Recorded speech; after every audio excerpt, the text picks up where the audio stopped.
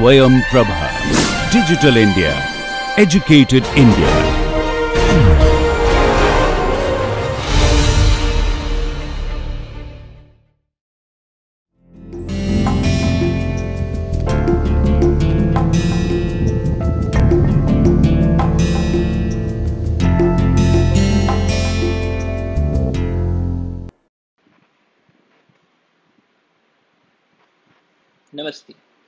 In the last lecture, we saw that conservation and economics are both related to each other. Both are being done for the common aim of providing more and more benefits to more and more number of people. But still, in certain cases, there are difficulties because there are some people who might consider that economics and conservation are at loggerheads. They are not serving the same purpose. So the solution lies in having more and more economics. So the people who are there in a position of decision making, they need to be made aware that if we are doing good conservation, this is also going to be bringing benefits to a large number of people. And a good example is the provisioning of mitigation structures such as underpasses for the movement of wild animals. Now, underpasses not only provide a way for wild animals to move uh, across a road, but they also provide protection to people because they will not find a wild animal out there in the road to collide with their vehicles, to destroy the vehicle, and probably also uh, lead to the death of, a, of uh, some human beings in these accidents. If we do not have underpasses, the other option for people to move safely is to lower their speeds. So, in a number of areas, we find that there is a speed limit uh, regulation of say around 20 kilometers per hour. But then, if we go with a speed of 20 kilometers per hour, that also leads to certain uh, detriments to, to a large number of people because goods will move slowly, people will move slowly, and so in such a situation, uh, doing development of the area will be more difficult. So the issue here is to bring the economists and the ecologists on the same page and come up with certain solutions through which uh, we can find a means to satisfy both the uh, circumstances, it is important to know the language of both these people. It is important to know the language of economists and the language of the ecologists. And in this lecture, we'll have a look at the language of the economist. We'll have a look at how an economist thinks and how he or she takes a decision. In particular, to use economics, we must know economics. And in this lecture, we will look at certain terms, terms of economists, or let us say the lingo of this field. We'll also have a look at the methods that are employed. Now, different disciplines might be using different methods. Now, there are some methods that are specific to a field. However, there are certain methods that are common across all fields, such as the scientific method. So we'll have a look at what kinds of methods are used in economics. We'll also uh, try to discern what are the kinds of analysis that are done in this field. And then we'll also look at what are the field realities. So let us begin with the terms. So there are a number of terms in economics and to understand any field, it is important that we know the language of the field. So for instance, when an economist says that the market is going up or the market is going down or the market is essential for such and such society or the market says so, what does this, this market refer to? Is he referring to your local market? Is he referring to the stock market? Is he referring to something else? So, to understand the language of an economist, it is important to know the terms that an economist uses. So, for instance, a market is defined as a group of buyers and sellers of a particular good or service. It is a group of buyers and sellers, which means that you cannot have a market with say just a few buyers or just a few sellers or say just one buyer and one seller. They, that will not make a market. You require a large number of buyers and a large number of sellers. And these are buyers and sellers of a particular good or service, which means that we can have different kinds of markets. We can have a market for goods, we can have a market for services. In the case of market for goods, we can have a market for, for say wood, we can have a market for land, we can have a market for construction activities. In the case of services, we can have a market of education. Now, in any of these markets, there are certain people who want to procure these goods and services, and these people are known as the buyers. And there are certain other people who provide these goods and services to the buyers. And these people who provide these goods and services are known as the sellers. Now, in any market, you will have a group of buyers and a group of sellers for that particular good or service. Then we have quantity demanded. Quantity demanded of any good or service is the amount of good that the that the buyers are willing and able to purchase. Quantity demanded is the amount of good that buyers are willing. So they hmm. must be willing and they must be able to purchase. Which means that when we look at quantity demanded, if there is a section of buyers that says, okay, I'm going to procure this item for say 2 lakhs of rupees, I'm willing to do that. But then those buyers do not have the funds with them. So they are not able to provide this much amount of money. So in that case, we will not include that uh, section into the computation of the quantity demanded. Or there might be, be certain people who have money with them but they do not want to spend it on that particular good or service. And in that case as well, we will not include it in the definition of quantity demanded. So the quantity demanded is the amount of goods that buyers are willing and able to purchase. Now it is very important in the case of conservation because there is a market for a lot number of goods that are to the detriment of nature and ecology. So for instance, there is a market for tiger skin. Now, why is there a market for tiger skin? Because there are certain buyers who want to procure tiger skin. There are certain sellers who want to sell tiger skin. Now, where will these sellers get the tiger skin from? Of course, they will go into a forest and they will poach a tiger.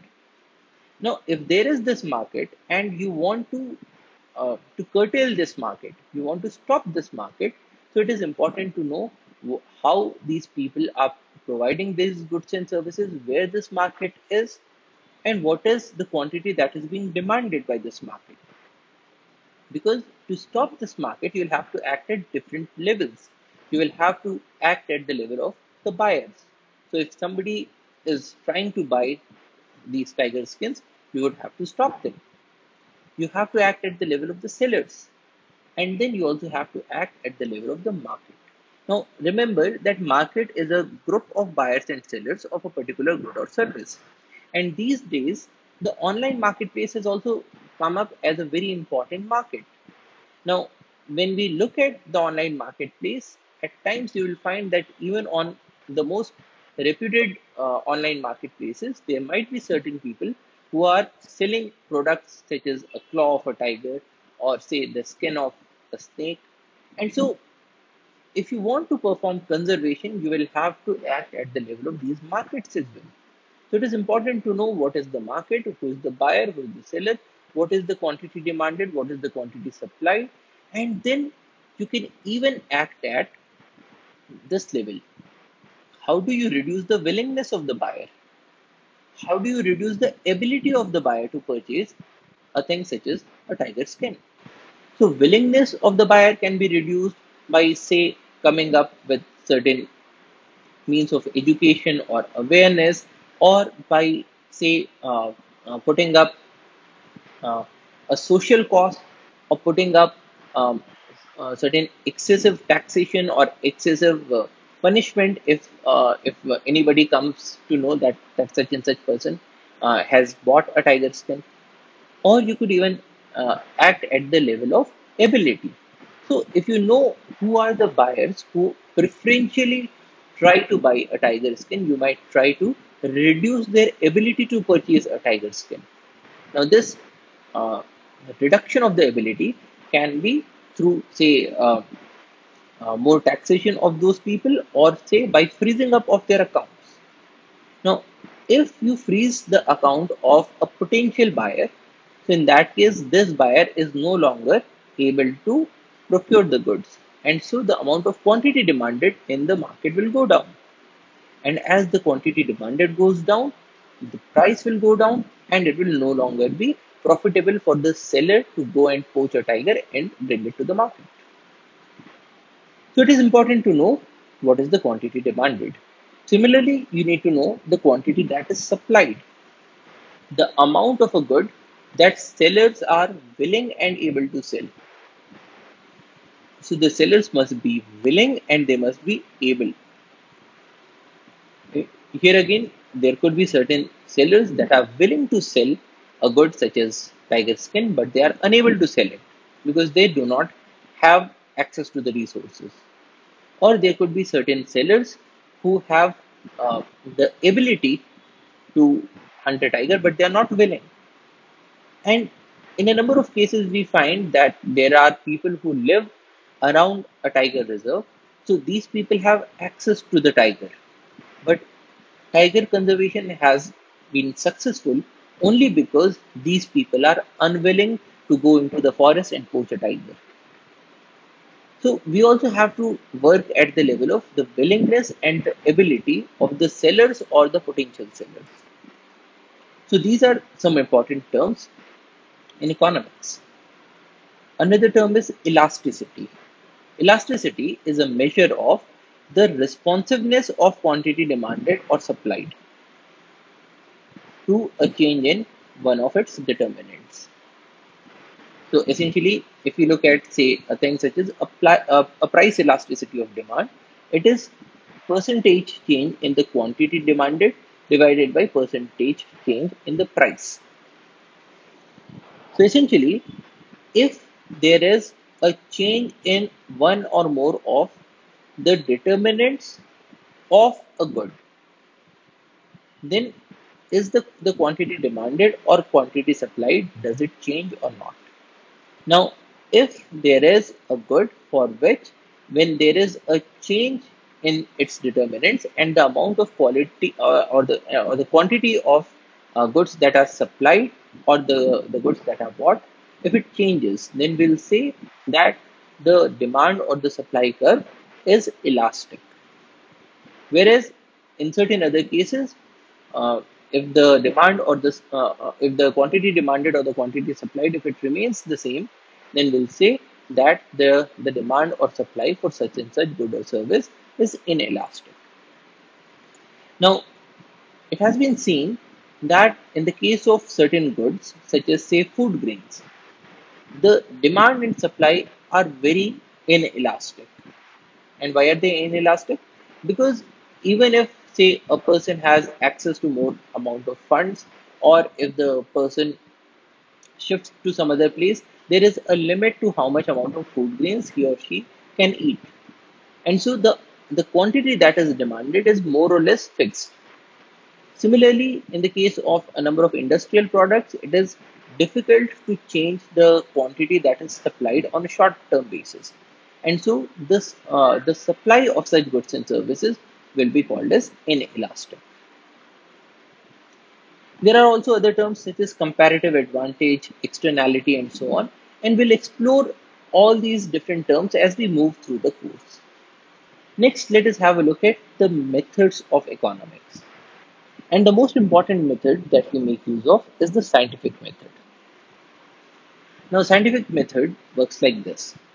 There is an observation and any observation can lead to a question. So for instance, there is an observation that there is a market for tiger body parts. The question is, okay, what are the determinants of this market? Does this market depend on, say, uh, who is the buyer or who is the seller, or does it does this market depend on what the currency exchange rate is or does this market depend on what is the level of insurgency in areas where you have the tigers so that it is easy to poach the tigers so there could be a number of questions that can be asked based on any observation now based on any of these questions we can come up with certain hypotheses now, a hypothesis is a possible explanation for what is going on. Now, this possible explanation could be correct or it could be incorrect. But so it be, the hypothesis has to be formed.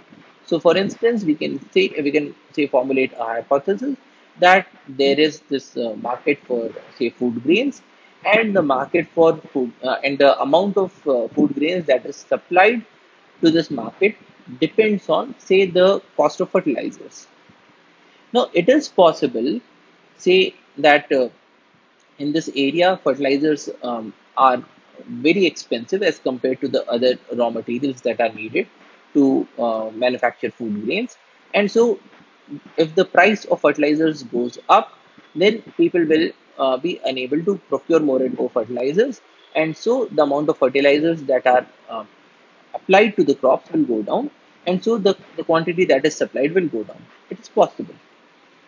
But there could also be a situation that the fertilizers are very cheap as compared to say the cost of irrigation. And so there is hardly any impact of the cost of or of the price of fertilizers on the quantity of food grains that is supplied in this market. Now, whether a hypothesis is true or not, it will have to be discerned. But before we get to the task of discerning why a thing is happening in a certain manner, we will first have to formulate a hypothesis. So we can say formulate n number of hypotheses. We can say that the uh, that the quantity of uh, food grains that is supplied to this market depends on the price of fertilizers, or it depends on uh, say the price of irrigation, or it say depends on the price of transportation. There could be a number of hypotheses and then we will try to look at each and uh, every one of these hypotheses in more detail. Now, how do we look at or how do we discern a hypothesis? It is done either through experiments or through observations.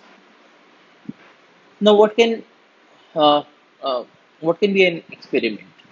So, suppose we wanted to see if uh, the price of fertilizers is the most important factor that determines how much is the amount of food grains that is supplied by a seller. So in that case, we can artificially pick certain um, farmers and we can provide them with fertilizers at say a reduced rate. So we can provide them with certain subsidy. We can tell them that okay, if you purchase one kg of fertilizers, we are going to pay you 20% of the money. You'll you'll only have to pay 80% of the sum. So in place of a higher price, now the farmer is paying a lower price. And then we can formulate certain groups. We can say that there is this cohort that is paying uh, 100% price. There is the second cohort that is paying 90% price. There is the third cohort that is paying 80% price and so on. And then we can try to, to look at what is the amount of food grains that is supplied by these different cohorts into the market. So this can be an experiment or in certain cases when it is difficult to perform experiment we can even look at more number of observations. So for instance we can say that okay if everything else remains same but then also the price of fertilizers would be varying to some extent. Or probably there are different places in our uh, area of study and in one place the price of fertilizers is more in another place the price of fertilizers is less. And everything else is more or less the same so in that case, the the scientist or the economist might try to, to figure out if these natural variations in the prices have got something to do with the quantity of food grains that these different sellers provide to the market. So we can explore a hypothesis either through experiments or through observations. And when we do these experiments and observations, it is possible that the hypothesis gets rejected. So it is possible that we formulated all these different cohorts, we give, gave them different amounts of subsidies, but still every cohort provides the same amount of food grains or supplies the same amount of food grains to the market. So in that case, we will reject the hypothesis that the price of fertilizers has the the, uh, the majority share in determining the uh, the amount of food grains that are supplied by the seller to the market. So this is a, a hypothesis that gets rejected through either the experiments or through the observations. And when this happens, then we will go ahead with the next hypothesis or we will even formulate a new hypothesis. So in this case, we might say that, okay, uh, the, uh, the price of uh, fertilizers has nothing to, to do with the, uh, with the quantity of food grains that these people are supplying. So probably it is the price of transportation. So that is the new hypothesis that the price of transportation governs the quantity of food grains that are supplied by the sellers to the market. So this is the next hypothesis. And what do we do with this hypothesis? We repeat the process. We go ahead with more experiments and observations. And we perform these uh, uh, these two operations of formulating hypothesis and checking them out through experiments or observations till we, uh, we reach a point where the hypothesis gets confirmed. So suppose our hypothesis that the cost of transportation determines the quantity of food grains that is supplied to the market. Suppose we are able to prove this hypothesis in our study area.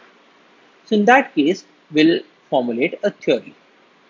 Now, this theory would say that the uh, cost of uh, or the price of, of uh, transportation determines the amount of food grains that is supplied to the market. But then it is also possible that this theory is only applicable to the current area of study. It is not applicable everywhere else. So in that case, it will remain at the level of a theory. But then if a theory stands the test of time, so we test it in different locations, we test it in different periods of time, we test it under different circumstances. And every time we find that it is actually the, the, the, the price of transportation that determines the quantity of food grains that are supplied by the sellers to the market. If that happens, then we will upgrade the, the theory to the level of a law. And then we'll call it the law of, say, uh, governance of quantity of food grains supplied to the market. Another example from a very different field is that suppose you have a torch and this torch is not working. How do you apply the scientific method? Now remember that the scientific method's aim is to help you get to the correct conclusion. So your torch is not working and there could be n number of things that are wrong with the torch. Probably the batteries have died out, probably the bulb has gotten fused, probably the switch is not working, probably the wires are broken, there could be a number of things. Now, we can apply scientific method to any observation and to any question. So in this case, the observation is that the torch is not working. The question is, why is the torch not working? So we'll formulate certain hypotheses. The first hypothesis is perhaps the battery is dead. Now, how do you check whether the uh, whether this is the correct hypothesis? Well, you change the battery or you charge the battery and check if the torch works.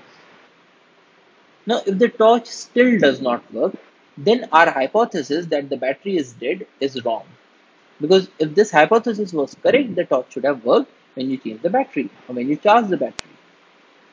So, we reject this hypothesis that the torch is not working because the battery is dead. So then we come up with another hypothesis that the torch is not working because the bulb has been fused. So we change the bulb. So this is the experiment. You change the bulb and check if the torch works. And you find through this experiment that the, the torch still does not work. Which means that the bulb was not fused because you have changed the bulb. And in that case, so one by one, we are formulating a hypothesis, we are testing the hypothesis, and we are accepting or rejecting the hypothesis. So, if the bulb is not fused, then perhaps the switch is not working. So, in that case, the experiment is you change the switch and then check if the torch is working. And now, uh, through this experiment, you come to know that the torch is working. So, in that case, you can, through this method of testing out different assumptions, different hypotheses, one by one, you can reach to a conclusion about why uh, why you were uh, observing the observation that you were observing. That is through uh, by uh, by looking at all of these hypotheses one by one, you can come to the conclusion that your torch was not working because its switch was malfunctioning, which you could not have done if you looked at all of these different aspects at the same time. So if you have a torch that is not working and you wanted to check the bulb, you wanted to check the battery, you wanted to check the switch, you wanted to check the wires, everything at the same point of time, then it would have been very difficult to come to the conclusion or especially the right conclusion about why your torch is not working. Now, similarly, in the field of economics, there are a number of questions, there are a number of observations, and the economist uses the, the scientific method to understand or to explain why a certain thing is behaving in the way it is doing. So we have observations about things such as inflation. Why does inflation occur? Why do we have unemployment in the society? And all of these questions are understood through the scientific method. And if any of these theories stands the test of time, then we say that we have come up with a law of economics. So if you wanted to understand how an economist thinks, it is important to know the scientific principle and to deploy scientific principle in different circumstances. Now, in the case of economics, uh, the experiments are in a number of cases natural experiments. Now, natural experiment means that, uh, especially because economics has uh, got a lot to do with different people so you cannot say say subjugate a person to malnutrition or you cannot subjugate a person to poverty just to test if uh, a certain observation uh, uh, uh is because of a certain hypothesis because there are human costs involved.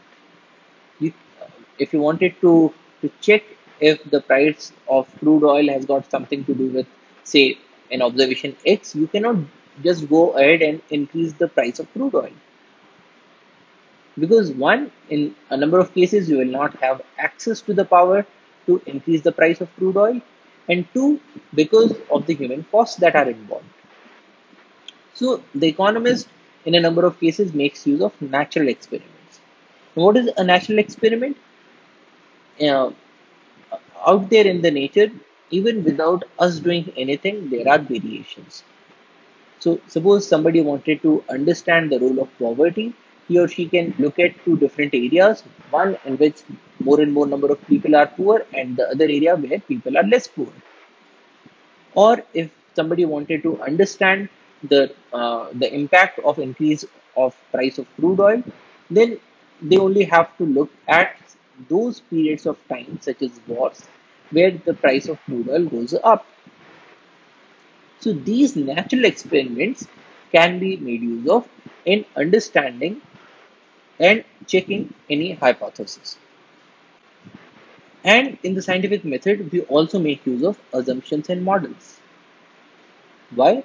Because if you look at the scientific method, you will find that there are a number of hypotheses that need to be tested.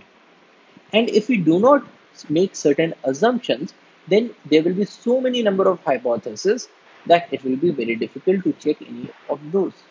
So for instance, if you wanted to check if poverty has got something to do with the amount of education that people receive.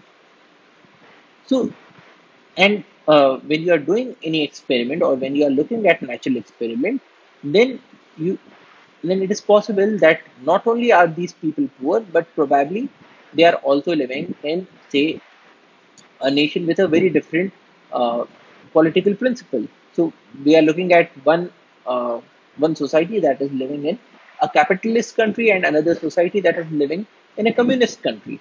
Now, if a number of things are different between both of these societies, then we cannot pinpoint whether the amount of education that people are receiving is because of uh, the poverty or not.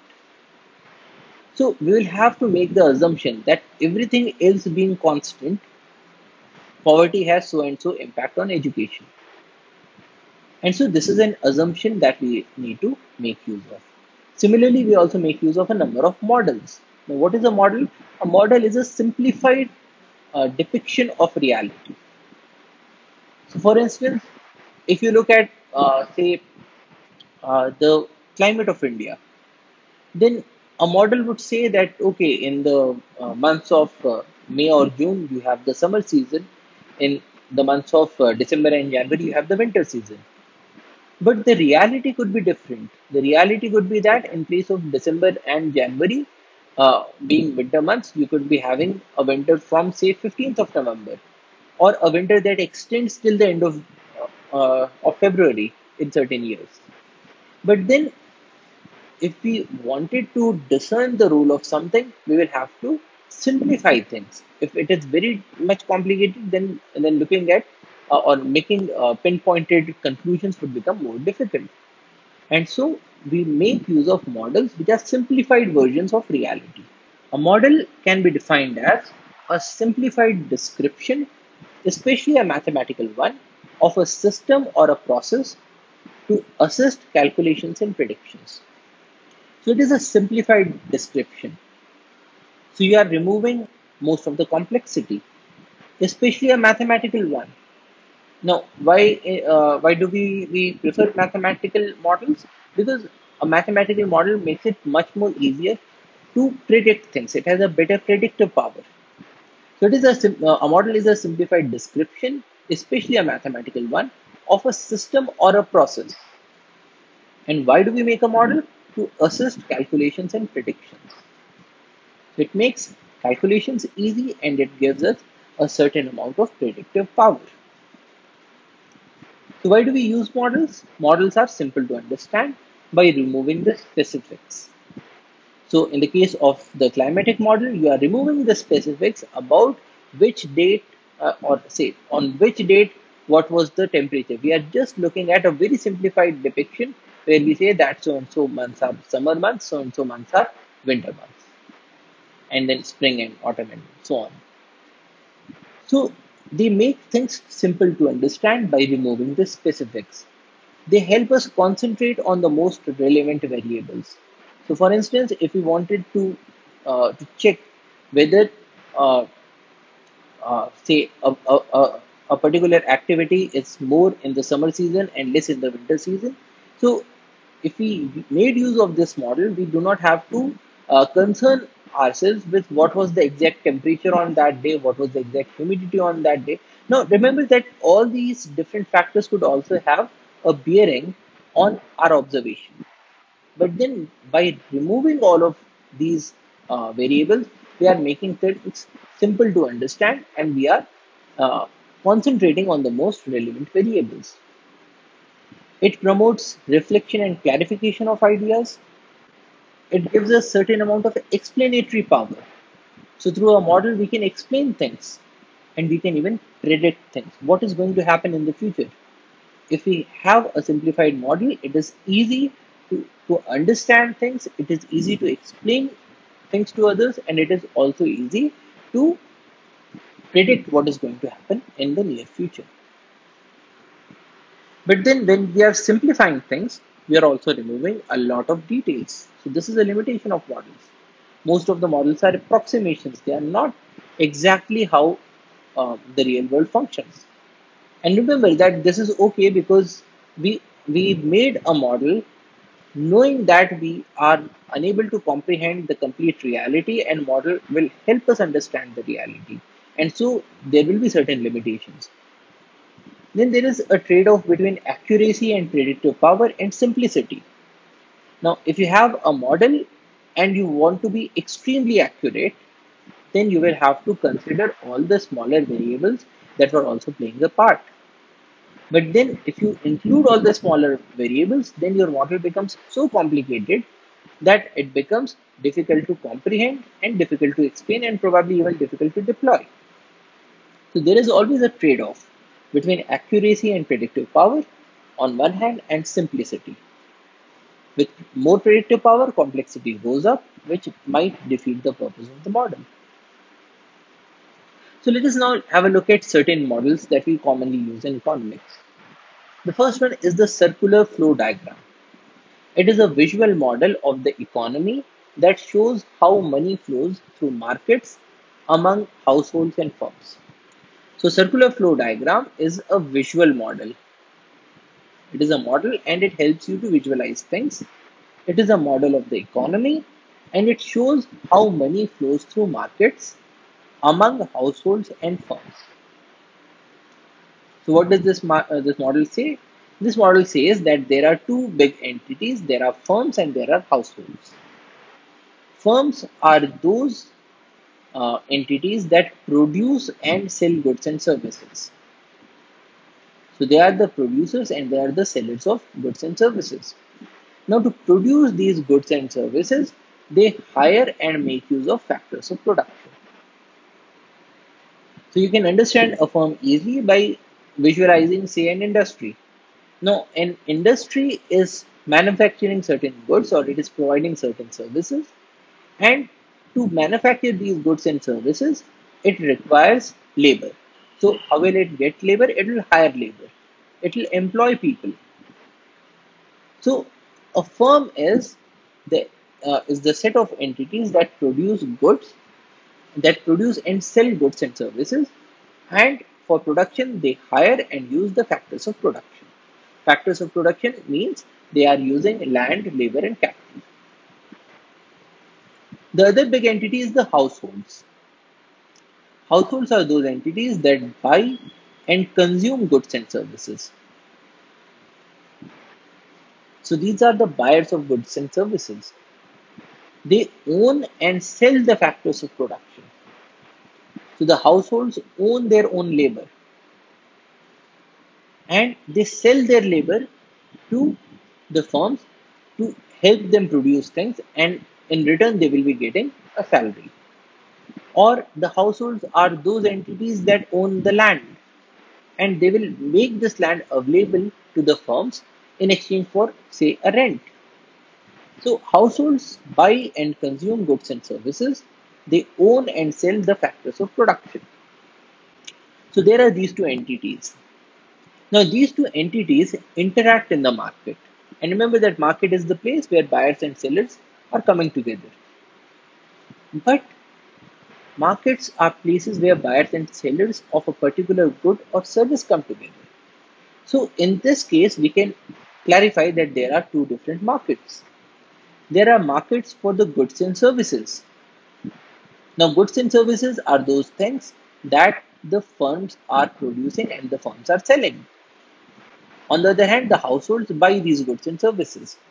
So in the market for goods and services, the goods and services are sold by the firm in this market and they are bought by the households. Now, when the when the households are buying the goods and services from this market, they will have to make a spending. They will have to pay something. So let us say that they are paying in rupees. So one rupee is moving from this household to the market because certain portion of goods and services are being bought by the households in this market. And this market is then channelizing this rupee to the firm. And the firm is getting this money in the form of revenue. So this is the revenue of the firm. And why is the, the firm getting this revenue? Because it is selling the goods and services. So this is one market in which the firms and the households interact with each other. Now, if we do not have any other market, if we have only one market, then there will be a situation where the households will very soon end up all the money that they have, all the money will get accumulated here, and the households will only have certain goods and services that they have bought from the firms. So, after a while, this economy will stop. Now, the reason why the economies do not stop is that we have another market which is known as the market for the factors of production. Now, in the market for the factors of production, the firms buy and the households sell. Now, what do the firms buy? The firms buy the factors of production. So the firms are buying the labor of people who reside in the households. Or the firms are buying the land or they are renting the land that is owned by different people. So the firms are buying here. And when the firms are buying, they will be spending the money that they have. So in this case, the rupee is moving from the firms through this market of production into the households. The, so the firms are paying the wages, rent, and profit. So if there is a labor that is being uh, purchased, so in exchange for labor, the firms will be paying wages. If there is a land that that has been uh, purchased or rented, then the firms will be paying the rent. If there is a capital that has been purchased, then the firms will be paying for it through their profits. So in this market for factors of production, the firms are buying the factors of production and they are selling uh, or uh, they are paying for it through wages, rent or profit. On the other hand, these factors of production are being made available through the households. So the households are selling land, labor and capital and in exchange for it, they are getting the income. So this is a circular flow diagram because if you look at say the flow of money, it moves from households through the market to the firms, then through the second market back to the household. So it completes a complete circle. On the other hand, if you look at the flow of inputs and outputs, we will find that the inputs and outputs are going through this circle. So in both the cases, the circle is complete and so this is the circular flow diagram of an economy.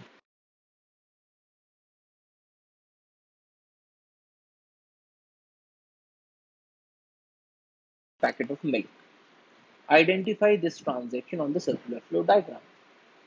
Now, what is Hari in this case? Hari is a part of the household. And Hari is paying a dairy for the packet of milk. Now, dairy is producing and selling this packet of milk. So, the entity that produces and sells goods and services is the firm. And the entity that buys these goods and services is the household. So, in this example, the dairy is the firm and Hari is the household. And Hari is paying 60 rupees for this packet of milk.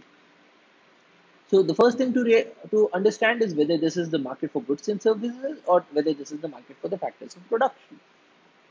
Now the answer is in this market, the firm is selling things to the household.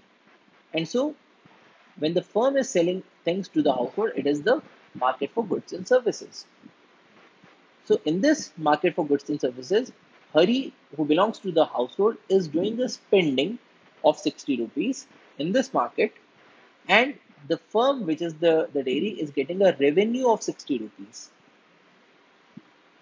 And if you look at the flow of inputs and outputs, the firm is selling the goods and so uh, the, the good in this case, which is a packet of milk, and the household, which is Hari, is buying this good, which is a packet of milk. Now, where does Hari get this money from? So, Hari earns say 15,000 rupees working as a waiter in a restaurant.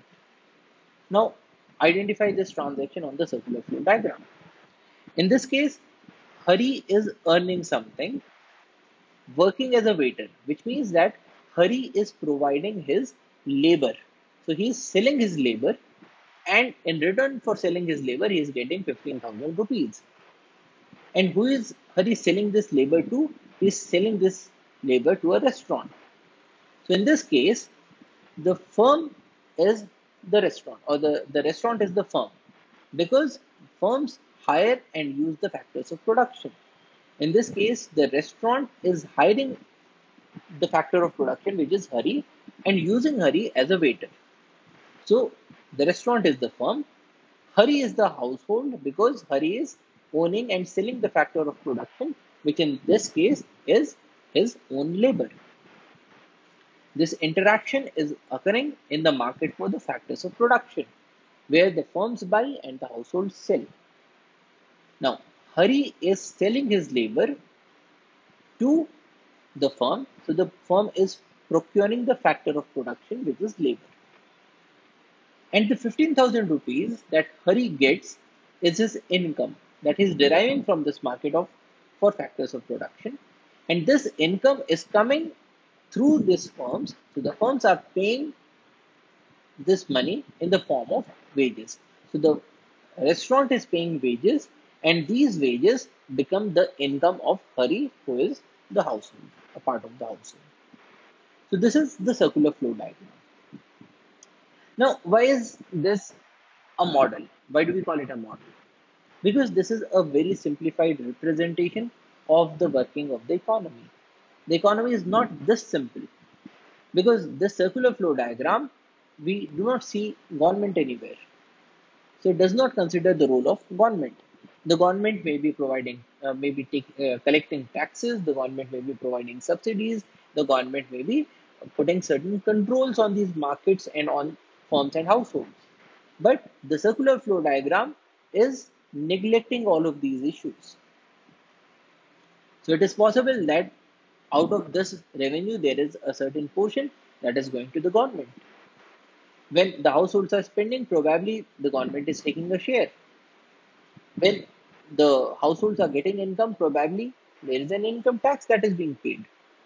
But a circular flow diagram is neglecting all of these intricacies and is simplifying things, and so this is a model. It also does not consider the role of international trade because in this model, we are considering that this economy only comprises of these two entities, the firms and the households. And we are not considering those goods and services that are being brought from outside.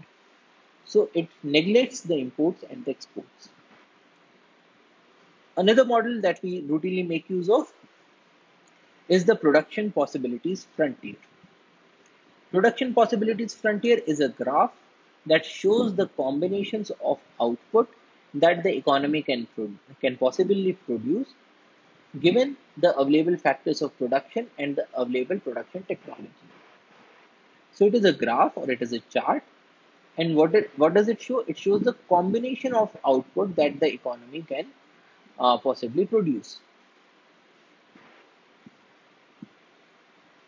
So it shows us what are the combination of different outputs that the economy can produce with the constraint of the available factors of production and the available production technology. So given the available factors of production and given the production technology of the time and place, what are the different combinations of output that can be produced is shown by the production possibilities frontier. Now, let us say that there is an economy, and for uh, simplicity's sake, it can uh, there are only two goods that can be produced with the technology and with the factors of production. The first good is say computers, and the second good is say cars. Now, we are simplifying things because we are saying that in this economy we have only these two items that are being produced. There is no third item because we are trying to understand how uh, the factors of production are allocated. So we make the simplification that there are only two items. Then the, the second sim simplification is that any factor of production can be used in making either of these goods. So for instance, if there is a worker, we can use that worker to produce computers or we can use that worker to produce cars. Now this again is a big simplification because in a number of cases, the workers who are trained to make computers might not be that trained in making cars. But then this is a simplification that we are using. Similarly, a number of items or uh, that are used in the manufacturing of cars are very different from those that are used in making of computers. So, for instance, we use silicon in the in the uh, IC chip that is there in the computers. Now, silicon is hardly used in cars. But then when we are making this model of production possibilities frontier, we are saying that any factor of production can be used in making either of these two goods. Now, suppose the economy decides that we are only going to produce computers. In that case, it produces zero cars and it produces 3000 computers. So that is one production possibility. If you do not make any cars, if you put all your resources into making computers, you will make 3000 computers. On the other hand, if you put all the resources into making cars, you will make say 1000 cars. So this is the other extreme of this production possibility frontier. Now, if you spend say 50% of uh, your factors of production into making computers and 50% into making cars, then there will be some other point. If you spend say 10% and 90%, there will be some other point. So all the points that represent what all things can be manufactured is shown by this line. So a point such as this will tell us that the economy is currently producing 700 cars and 1200 computers. Similarly, this point is also possible. All the points that are inside the curve, to the left of the curve, are also possible. But we say that these are inefficient use of resources because the resources are not being put to complete use. So for instance, the economy might say that we will be producing, say, one computer and one car. However, they could have even produced 700 uh, cars and 1200 computers. But in place of producing 700 and 1200 items, they are only producing one. So that is possible, but that is inefficient. So the production possibility frontier tells us the most efficient uh, production of two different goods that the economy can make. Any points that are to the right of this curve are an impossible combination because the resources and technology are not available to make so, many, so much amount of goods or services. So this is a simplified model that we refer to as the production possibilities frontier. Now, such a model helps us understand the principles of economics. Because here what we are emphasizing is that the society is facing a trade-off. What is that trade-off? The society wants more of cars and more of computers, but there is a limit and so uh, the society can either have more computers or it can have more cars. So it will have to make a trade-off between computers and cars. The second thing is that trade-offs are, leading, are leading to cost. And cost is what you give up to get something. So in this case, you are giving up 3000 computers to make 1000 cars. So the cost of 1000 cars is 3000 computers. Or the cost of 3000 computers is 1000 cars. So this is cost. So this model is helping us understand concepts such as trade-offs and concepts such as cost. The cost in this case is the opportunity cost. If the society wants more computers, it will get less number of cars. And when the society chooses to make only computers, the best workers for car production are also used in making computers. But they may not be that good in producing computers because they are not trained in making in producing computers which produces the bow-shaped curve. Putting these workers into car production will not only greatly impact uh, the number of computers produced, but will also greatly increase the number of cars produced. What we are saying here is that specialization is also being depicted on this curve because of this shape. Now, in place of producing 3000 computers, suppose you produce, suppose this society produced, uh, say 2009 100 computers. So we'll get a curve like this. And the point where this line cuts this curve is this.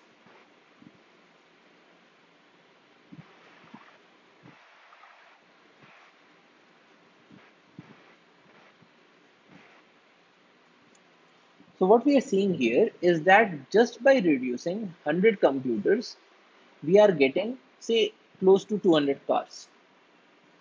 Why? Because when we are when we are leaving out certain uh, workers from computers into making of cars, it is uh, in, in, in, in a number of cases, they will be those workers who are more capable and willing to produce cars. And so we are seeing an effect of specialization. if the society decides to make only one thing, then even those people who are not that specialized to make that item will be used in the manufacturing of that item, which will not be the most efficient utilization of resources. So we are seeing an inefficient utilization of resources when the society chooses to make only computers or only cars. So this is another concept that we are observing through this curve. Now, why is this a model? Because this is a simplified representation of the working of the economy. Almost no economy is there that only produces two goods. Most of the economies produce hundreds or thousands or millions of goods. But then to understand the role of uh, allocation of resources or to understand the opportunity cost or to understand specialization, we have looked at an economy, economy that makes only two items. Similarly, not all factors of production can be equally deployed in making of these two items. But then this is another simplification that we have made. But these simplifications permit an easy grasp of economic ideas of scarcity, efficiency, trade-off, opportunity cost, and economic growth. How economic growth? Suppose there is uh, the availability of a better technology.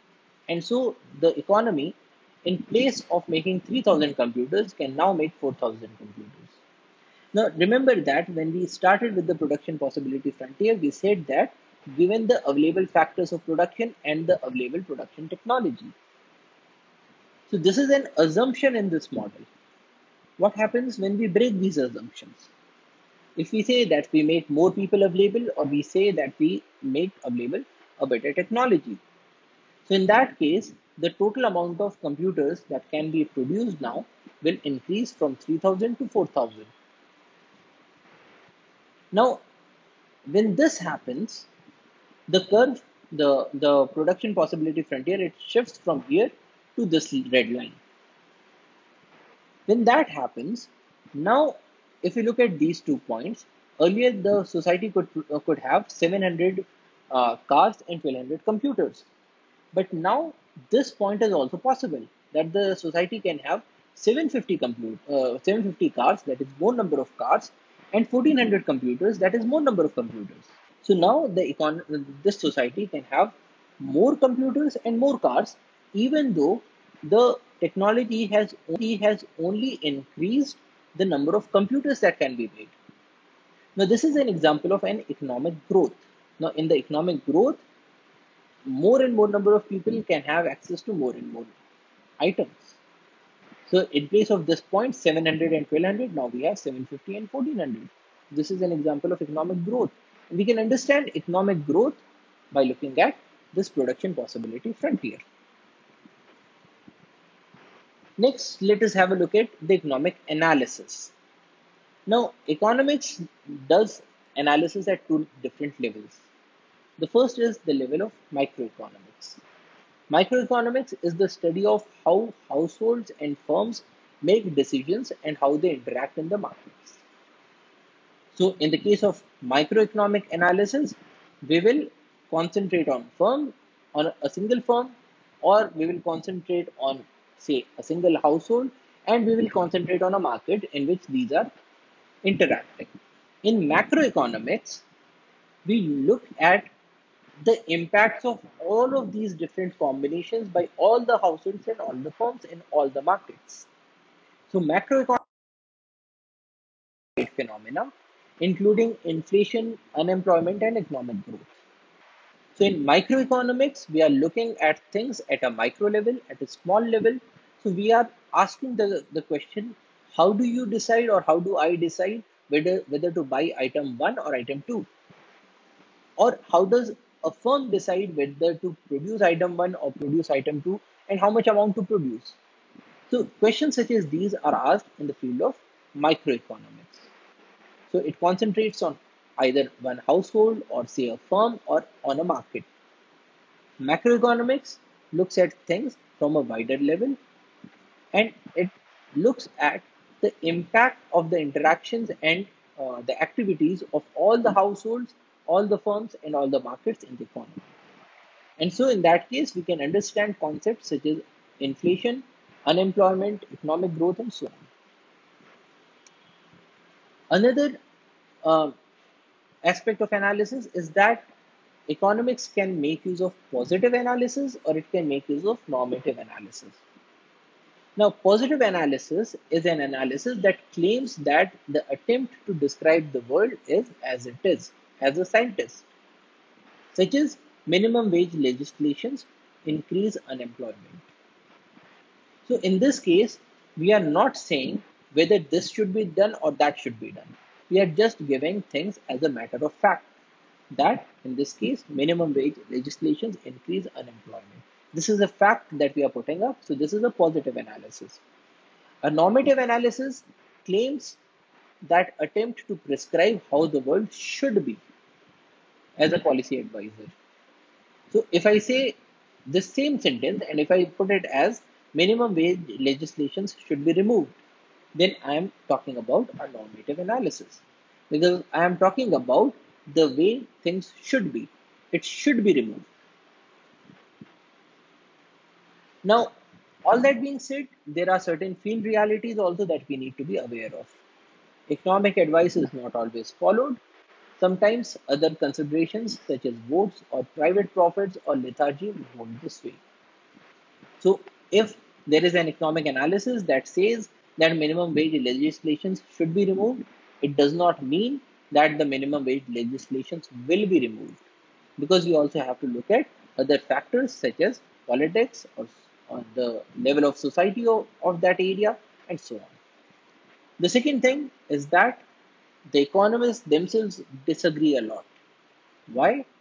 Because of differences in which scientific theory to follow, differences in their value judgments, example whether to, to choose efficiency or equality, because in a number of cases the economists themselves are doing a normative analysis. So for instance, um, a person uh, who, who puts uh, much faith in increasing efficiency might say that minimum wage legislations should be removed. On the other hand, another economist who emphasizes on the level of uh, or, or on the quality of life of these laborers might say no minimum wage legislations are extremely important otherwise these people might get exploited now the both of these economists are correct in their own opinions they are correct in their own places.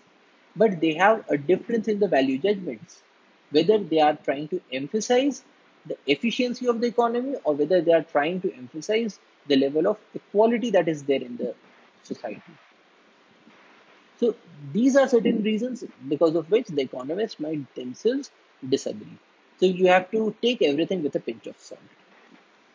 So in this lecture, we had a look at how an economist thinks, what are the different kinds of models, what are the different kinds of analysis that we make use of, certain terms that this uh, that belongs to the to this field, and so on. So that's all for today. Thank you for your attention. Jai Hind.